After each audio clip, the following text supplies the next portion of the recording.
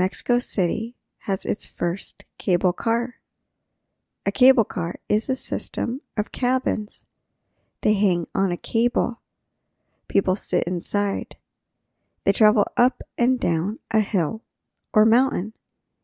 The cable car is in a rocky part of the city. People live far from the city center.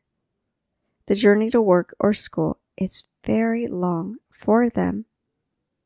They can get to the metro in the cable car. People can travel much faster. The cable car has five stations. Ten people can sit in one cabin. The cable car can carry about 96,000 people every day. People are very happy.